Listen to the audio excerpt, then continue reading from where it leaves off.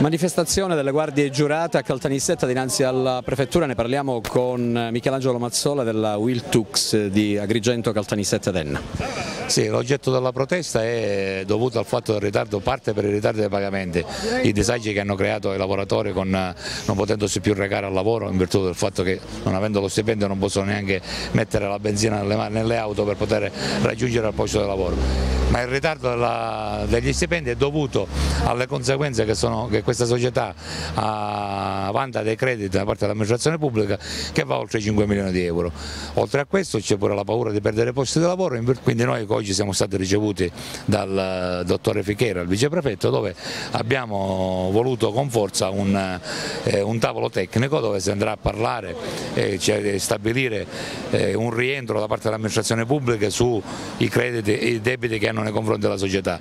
e vigilare, creare un, un tavolo, un osservatorio dove andremo oh, a verificare assieme le associazioni datoriali, l'ispettorato del lavoro e quant'altro, a vigilare per, per, che la stesura dei capitolati d'appalto da parte delle, delle committenti siano fatti a regola d'arte, dove mettono delle tutele e dei paletti nei confronti dei lavoratori. Per diverse famiglie sono ore di apprensione.